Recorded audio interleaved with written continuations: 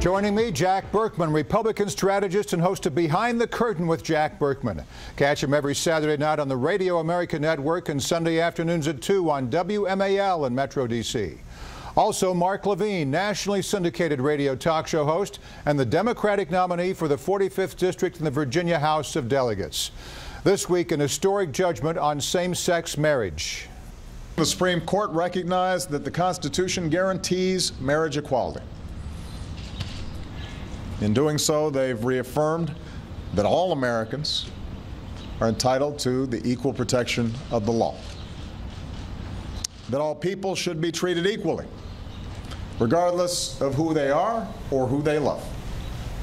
Now, states cannot ban same sex couples from marriage, and they must legally recognize the unions. After the ruling, numerous Republican presidential candidates gave their reaction. Mike Huckabee called on conservatives to reject judicial tyranny. Jack, recent polls show a majority of Americans agree with marriage equality, even young Republicans. Is the GOP on the wrong side of history? Well, they're on the, I, no, I think they're on the right side substantively and more importantly, more politically. Remember, these guys are playing to the base. They're coming up on 2016. What you're going to see, you'll see a, a, a, love fest. You'll see who can denounce this the hardest, and you're going to see that play out in the next couple of weeks. This is a great issue for Republicans because, as Mark will tell you, in politics, you don't want the result. You want the issue. That's what a political strategist wants. Now we have the issue. We can go to our base and say, we need to confirm at least one new Supreme Court justice with a Republican president in the next term or two. We can overturn this. We can overturn health care. This is a big, it's a substantive victory for Democrats, but it's a big political victory for Republicans. Wisconsin Governor Scott Walker said the only alternative left is for a constitutional amendment giving states the right to define marriage. Mark, are you surprised the Republicans keep fighting the issue? And is this a sign that the work isn't over for liberals you know and what? the LGBT community? I hope they do. Bring it on, Jack. Bring it on, Republicans. Talk about this till the cows come home. It's not just the majority of American people who support full equality under the law. It's a supermajority. It's close to 60%. I hope the Republicans talk about it all the way to November and drive all the moderates home to support the Democratic nominee. Well, remember, Mark, this gets our base to the polls. Remember, politically, you know this. You're, no, you're going to be an no. elected official. This this gets the base to the, the polls, which is always number one. I think the Republican Party can't win based on evangelical social conservatives alone. There are a lot of people in the Republican Party who are socially liberal and fiscally conservative, and if you want to force them into our camp, Jack, true. we're happy to have That's true, but there's a lot of data. We don't know where, for instance, we don't know where the Hispanic community uh, is on this. The Hispanic community is very conservative on social issues. You're presuming, you're presuming that Hispanics support this decision. We don't have enough polling to draw that conclusion. It, it won't, it won't drive them away from the Democratic Party because we care about them for other reasons. We, we help the Hispanic community that are struggling for economic reasons and immigration law and so forth. This is an issue that actually is driving young people away from your party, Jack. I say keep talking about it. Well, Mark, we before we go on, you're not new to this issue either. You've no. been, you've been tell, give us a quick background. I sure. I actually uh, have been involved in marriage equality movement since 1999 when I lived in California. I wrote one of the first laws in the country to give full marriage equality to gay and lesbian couples, and I formed Marriage Equality California. In fact, I did. Uh, uh, four of us did the first Valentine's Day protests across the country. So this today, today's Supreme Court opinion, and I was at the Supreme Court. I got the opinion today. Is really the culmination of, of a lot of my life's work. I'm very proud of today. Well, it's been a busy week for the Supremes. Also a landmark decision, court decision on Obamacare. After more than 50 votes in Congress to repeal or weaken this law. After a presidential election based in part on preserving or repealing this law. After multiple challenges to this law before the Supreme Court. The Affordable Care Act is here to stay. In a surprise 6-3 decision, the court upheld a subsidy provision for millions of Americans. Jack, are the Republicans going to finally just say enough's enough? We're going to oh, give I up don't on think this? so. No, once again, Morris, I think this is only the beginning. I think it rallies the base, and this is an issue. You know, Mark has a good point in that in that moderates and soccer moms, sure, they feel that way on gay issues, but on health care, the moderates are with us. We can take this. This is a, a big victory for our base.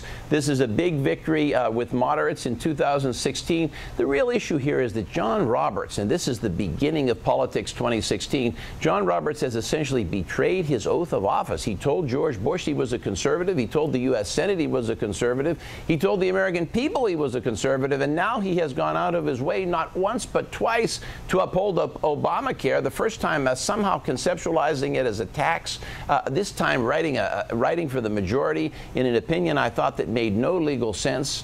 But once again, I think it's a big win for the right. Mark, what does this do for Obama's legacy now?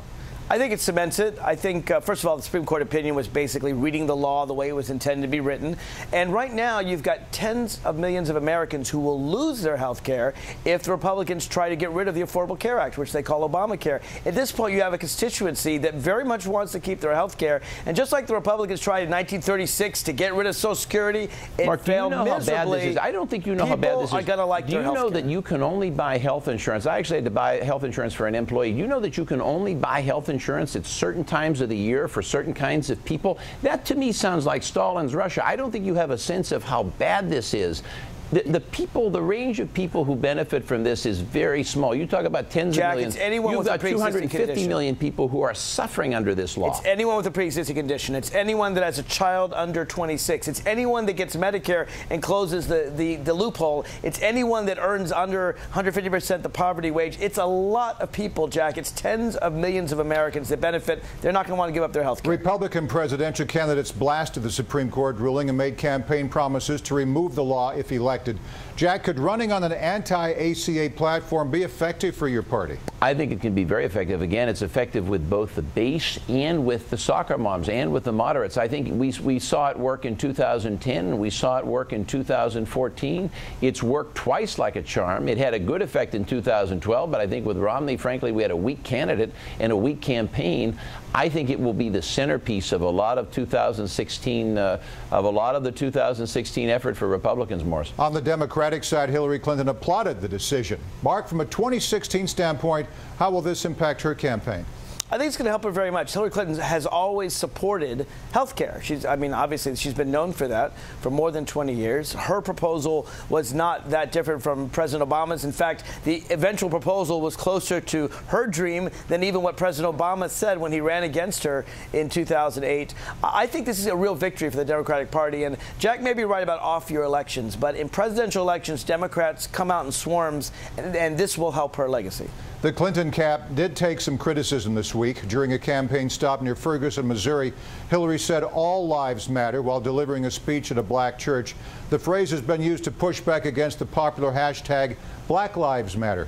Mark, what's your take? Did Hillary misstep here? I don't think so. People need to understand the difference. If you say Black Lives Matter and someone comes back and says all lives matter, that's not good. That suggests that people don't understand that black lives are not taken seriously enough in America. Of course, all lives matter, but black lives have unfortunately in the past well, not been respected once enough. Again, what, what she did, what she did, let me finish, Jack. What she did was she was talking about her mother. She wasn't talking about you black will lives. See, what you will and see, she was Morris, talking about her Hillary mother Clinton, who was a poor person and was struggling. She has so to it was go appropriate one way. in that context. She's right. got to go one way in the primary and the other way in the general. You're going to see her pander to a lot of extremists in the primary. The Democratic Party on the left goes way out there on all of these issues. She has to go way out there, and then she has to race back toward the center. Healthcare is a good example of that. She will associate herself with Obama and associate herself with the ACA and the Health Reform Act in the primary. But as she gets into the general, you mark my words, she will denounce it and she will run away from Obama. What does that have to do with All Lives Matter, Jack? Well, well, it's a good point,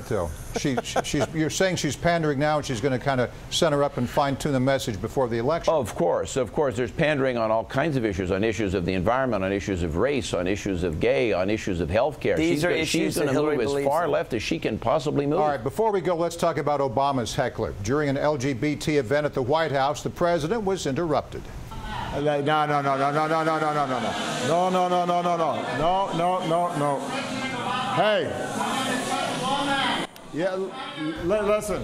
You're in my house. All right. Before having the heckler removed, Obama told the protester, as you heard, you're in my house. It's not respectful.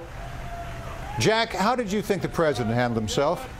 Oh, I think there's a better way to do it. When you say it's not, I, I saw that, I've seen that clip uh, many times more. So I think it's not his house. And that's something to remember. I think the, the president definitely has an imperial view of himself and the presidency. It's not his house, it's the people's house.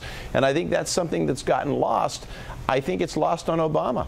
Mark? I don't know of any Republican candidate that would handle a heckler any differently from Obama. In fact, Obama often uh, talks to hecklers more than Republican presidents have. I think he handled it fine, and I think the heckler got uh, her issue out as well, so win-win. All right, Mark Levine, Democratic strategist, Jack Burkman, Republican strategist, the best political panel on TV. Thanks to you both. Thank you, guys. Thanks, Morris.